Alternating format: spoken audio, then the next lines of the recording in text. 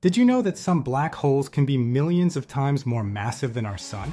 Today, we're diving into the mind boggling comparison of black holes and our sun, two of the most significant celestial objects in the universe.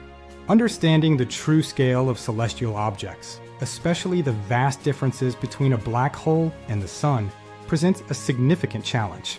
Our human minds struggle to grasp such immense sizes and masses, often reducing them to abstract numbers. How can we truly visualize something millions of times larger or heavier than our familiar star?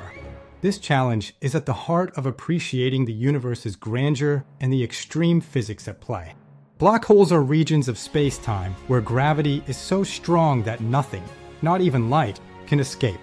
They form from the remnants of massive stars that collapse under their own gravity, creating an incredibly dense point called a singularity.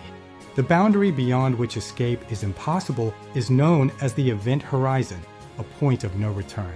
Black holes come in various sizes, from stellar mass black holes, a few times the mass of our Sun, to supermassive black holes, millions or even billions of times more massive. Our Sun, on the other hand, is a main sequence star, a giant ball of hot plasma that generates energy through nuclear fusion. It has a diameter of about 1.39 million kilometers, or 864,000 miles, and accounts for 99.8% of the total mass in our solar system.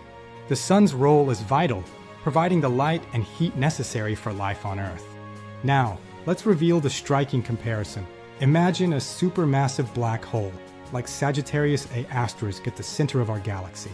It has a mass equivalent to about 4 million suns yet its event horizon is only about 44 million kilometers across. This means you could fit millions of suns inside the volume of some supermassive black holes, even though the black hole itself is incredibly compact.